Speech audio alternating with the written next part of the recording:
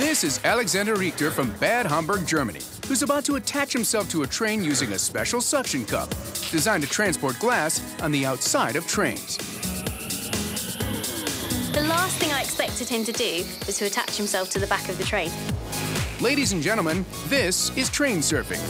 It's insanely dangerous, and it's your number five choice. These are high-speed trains. This is really dangerous. If this guy falls off, it could be night-night. Fortunately, Alex lived to tell the tale. So we traveled to Germany to ask him what inspired the idea. I have talked with a lot of people about it, and every one of them was saying, uh, that's impossible, you can't do it. The modern trains are not built to surf.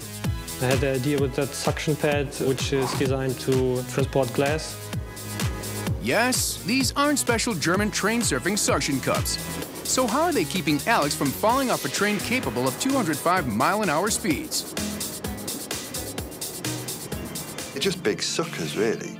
And what they do, they, they suck over the top and then he pumps first of all. And that pumping that he's doing is removing the air from inside this sucker, which creates a vacuum. When he sucks the vacuum, there's much less air pressure out. So now you have all of the weight of the atmosphere pushing down on this disc. And so you think that it's the atmosphere that's going to pull him off because of the wind resistance. But what really is happening is that it's the atmosphere that's holding him on.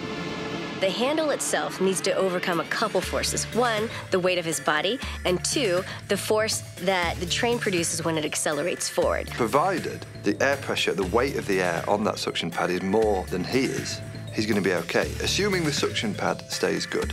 Alexander's train surfing video made a giant splash on the internet, clocking over 6 million views. But how close to disaster did he come? Like any other extreme sport, the small probability that you die is always there, but it's worth it.